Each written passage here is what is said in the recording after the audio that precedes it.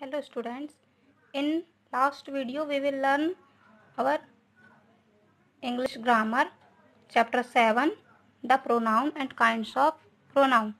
okay now exercise time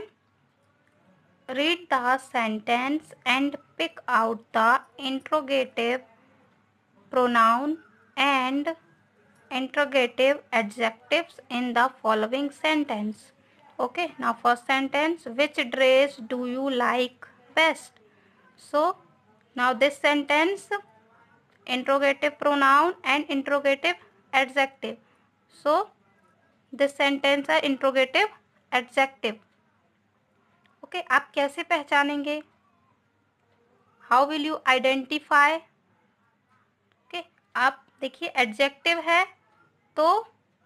क्या होगा जैसे W H Sen W H word okay W H word means which what where who okay तो W H sentence के बाद यदि just बाद हेल्पिंग वर्ब है ओके हेल्पिंग वर्ब आ रही है डब्ल्यू एच सेंटेंस के बाद तो ये क्या है interrogative pronoun okay now next क्या है एडजेक्टिव में नाउन के आगे लगता है एडजेक्टिव नाउन के आगे लगता है ओके ये नाउन की क्योंकि विशेषता बताता है okay so W H sentence के बाद मीन्स विच के dress do you like best okay so W H sentence which now dress noun उसके बाद do means helping verb okay so this sentence है interrogative